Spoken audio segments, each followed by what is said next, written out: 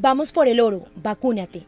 Ese es el nombre de la jornada de vacunación de las Américas que va hasta el próximo 30 de abril de 8 de la mañana a 4 de la tarde en diferentes centros de salud de la ciudad. La vacunación va dirigida eh, con mayor número de biológicos a los niños menores de 6 años. Esa es la población prioritaria.